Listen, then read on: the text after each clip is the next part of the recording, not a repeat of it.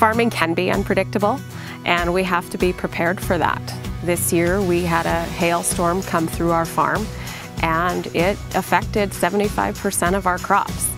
And it's devastating when the hail hits or when Mother Nature strikes, but you have to be prepared for that. And we are always prepared for that from the beginning of the year through the end of the year. On the business side, you know, I rely heavily on Michelle um, to do the budgeting and the marketing and allow me to, to do the best I can with the money we have available. Having an ag economics degree has been extremely helpful in running our farm business. It's given me a lot of tools which makes running the business side of the farm a lot easier. I think as the scale and the scope of farming has changed over the years, so does the management practices. And as such, we spend a lot more time dealing with budgeting and planning more so than maybe 20, 30 years ago.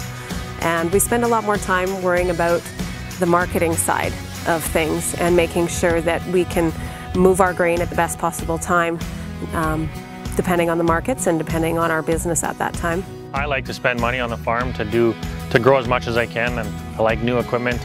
Um, whereas when we do marketing and budgeting on a quarterly basis, you know, it gives us a snapshot of where we are.